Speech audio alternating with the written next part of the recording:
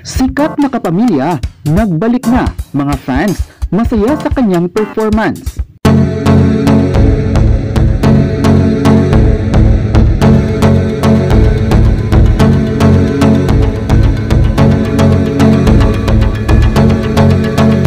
Nagbalik ang pop superstar Sarah Geronimo sa asap natin to sa Sunday episode ng sikat na variety show sa unang pagkakataon. Para sa kanyang grand comeback, nag-perform siya sa isa sa kanyang single title na Dati Dati. Ang kanta kung saan nagbibigay ng good vibes sa nakaraan at aasahang maghihilom ito sa bagong panahon. Tulad din ng dati, ipinakita ng kapamilya ang galing niya hindi lang sa vocal kundi maging sa pagsasayaw. Ayon pa ng kapamilya, ibang klaseng experience daw ito para sa kanya. Iba daw talaga mag-perform sa ASAP stage. Wala daw halong issues, masarap mag-perform sa ASAP natin to. Tungkol naman sa kanyang bagong kanta, ayon ng kapamilya, marami daw mga bagay sa nakaraan na namimiss natin. Ang simplicity ng buhay, simpleng saya sa buhay na parang nawawala minsan dahil sa ingay ng social media at ng teknolohiya. Gusto daw niyang itago yung pagkalungkot sa pagka-upbeat ng kanta.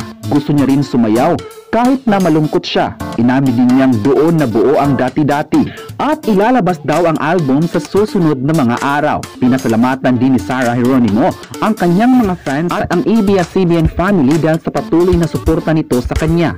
Ayon pa niya, pinasalamatan niya ang Asa family na payagan siyang i-promote ang kanyang bagong kanta. Medyo natagalan raw pero nandito naman siya. Pinasalamatan din ito sa muling pagtanggap sa kanya at sa popsters na patuloy pa rin sumusuporta. Ang huling napanood, ang kapamilya ay noon pang November 1, 2020 episode at sinundan na ito ng mga tape at remote performances bago pa siya nagpahinga sa showbiz.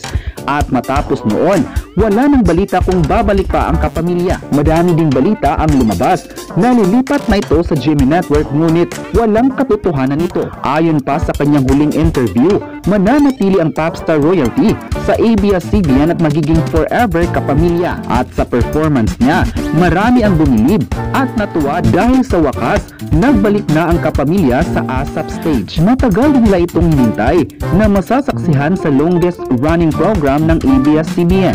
Isa si Sarah Geronimo sa mga artistang kilala sa Pilipinas at maging sa buong mundo. Ayon pa ng kapamilya, mapapanood pa rin siya sa bakuran ng ABS-CBN dahil mahal niya ang Kapamilya Network. Kayo, ano ang masabi niyo na nagbalik na si Sarah Geronimo sa ASAP natin to? I-comment na kung proud ba kayo sa kanyang pagbabalik at huwag kalimutang i-subscribe ang ating YouTube channel.